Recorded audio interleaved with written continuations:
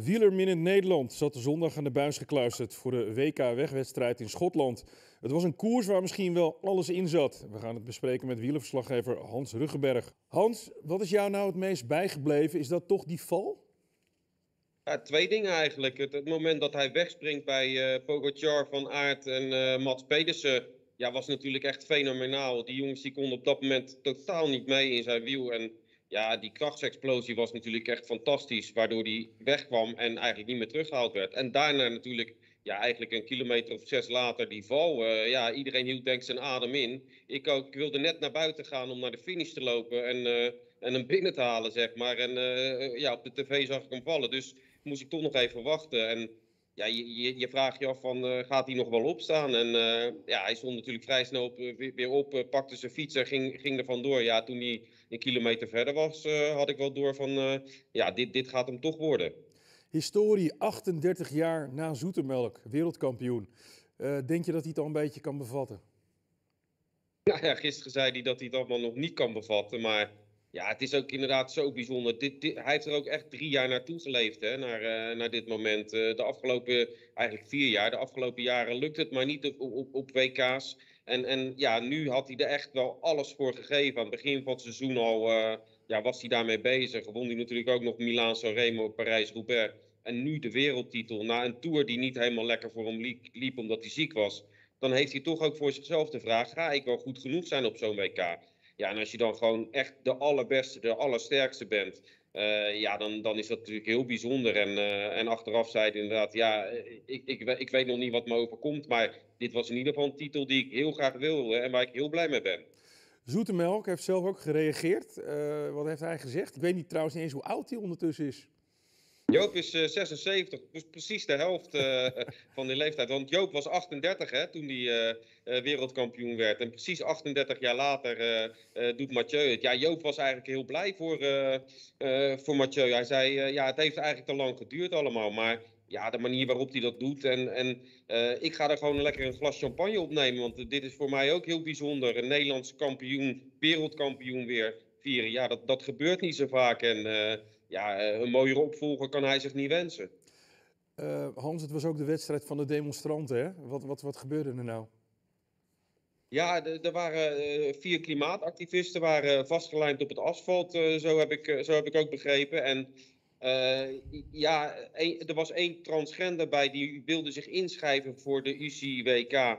En, en die schijnt gezegd te hebben uh, ja, ik mag me niet inschrijven, maar uh, vervolgens is Ineos wel. Ineos is een chemisch bedrijf dat uh, een grote wielerploeg in Engeland sponsort.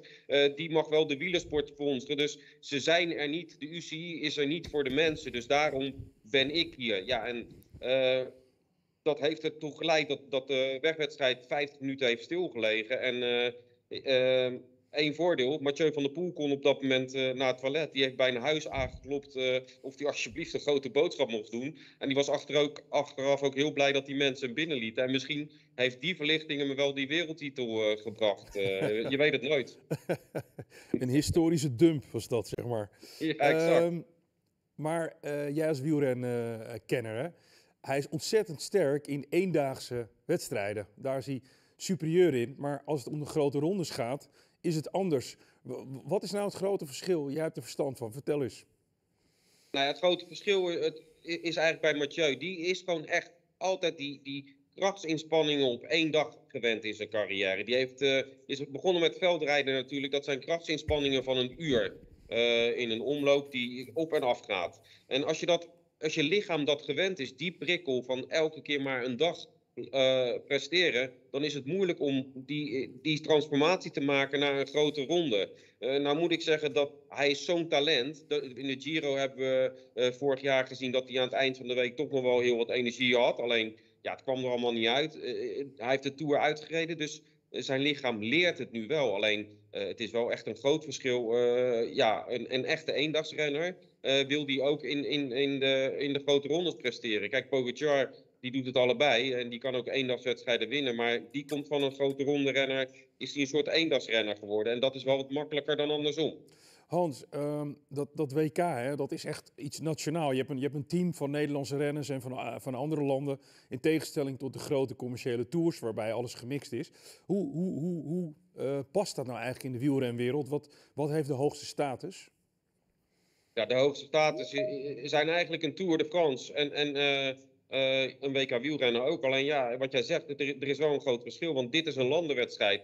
Ja, waardoor er toch altijd belangen zijn van ja, uh, renners die in een bepaalde ploeg zitten. Die gaan dan misschien niet achter renners aanrijden tijdens een WK. Terwijl ze voor de Belgische en Nederlandse ploeg uitkomen. Kijk, Jasper Philipsen liet tijdens de Tour uh, ontglippen eigenlijk. Dat hij nooit achter Mathieu van der Poel zou, zou aan gaan rijden tijdens een WK. Ja, daarvoor kreeg hij toch wel een beetje op zijn flikker van de bondscoach in België. Maar ja, die belangen zullen altijd wel meespelen. Alleen gisteren maakte dat niet uit. Want Mathieu van der Poel was gewoon de sterkste. Dus maakt eigenlijk niet uit of iemand hem wel of niet uh, zou kunnen helpen. Uh, als, er één, als er één man eigenlijk uitblinkt, dan, uh, dan krijg je die belangen niet. Maar er is in het verleden zeker wel voorgekomen dat, dat die belangen een rol speelden, ja. Ja, de vloek op het WK is weg voor hem. hij zegt zijn carrière is compleet. waar gaat hij zich nu op richten? Nou, hij zei dat hij dit jaar geen wegwedstrijd meer uh, rijdt in principe. Maar uh, ik, uh, ik betwijfel dat natuurlijk. Want die jongen die wil natuurlijk gewoon ook zijn regenboogtrui laten zien. Er komen nog wel wat wegwedstrijden aan. Misschien gaan we hem wel in de, in de Benelux Tour zien de, de, komende tijd. Dus toch een mooi moment om die trui te showen. Maar hij, hij, rijdt natuurlijk komend weekend nog de, de mountainbike wedstrijd ook. daar zal hij geen wereldkampioen worden waarschijnlijk. Al weet je het met hem nooit. Maar in principe is hij niet voorbereid, want hij heeft helemaal geen mountainbike-wedstrijden gereden. Hij rijdt dat puur om toch ja, ergens in de top 10 te eindigen en, en zich te kwalificeren voor de Spelen. En, en qua wegwedstrijd, ja, hij zal ergens wel opduiken, alleen hij zal dat eerst met zijn team bespreken uh, waar dat zal zijn. Maar ik verwacht zeker dat, hij, dat we hem dit jaar in die regenboogtrui gaan zien, want we, we, we hebben natuurlijk ook uh, uh, ja, weer kampioen veldrijden zien worden. Dus die regenboogtrui heeft hij ook.